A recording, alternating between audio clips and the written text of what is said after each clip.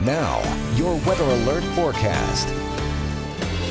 Good afternoon, everyone. I'm 3 News Now. Meteorologist Mark Stitz. Mostly cloudy skies through the rest of the day, but temperatures a little bit higher compared to yesterday. We'll top out in the low 40s. And then as we go into the late evening and early nighttime hours, a few hit and miss rain and snow showers will push in from the northwest. So first impacting northeast Nebraska. Then a little bit closer at midnight, we'll probably start dodging those here across the Omaha Metro.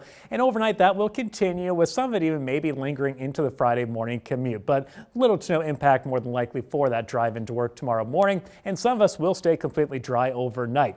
Now, tomorrow afternoon, a mix of sunshine and clouds, and we continue to warm things up a little bit closer to 50, and the weekend looks even better. But today, it's still mostly cloudy, highs near 42. Then overnight tonight will drop down to 28. Along with it comes that spotty rain and snow through the overnight hours and into tomorrow morning. But tomorrow afternoon looking dry, a little bit of sunshine at times with highs near 50. But Saturday, we are mostly sunny and much warmer, topping out near 61. Sunday, a few more clouds. That'll keep us closer to 58. And then a cold front arrives early Monday. That's going to only drop us, though, into the low 50s for Monday and Tuesday. And also coming with a chance for a few scattered showers and snow showers both Monday and Wednesday.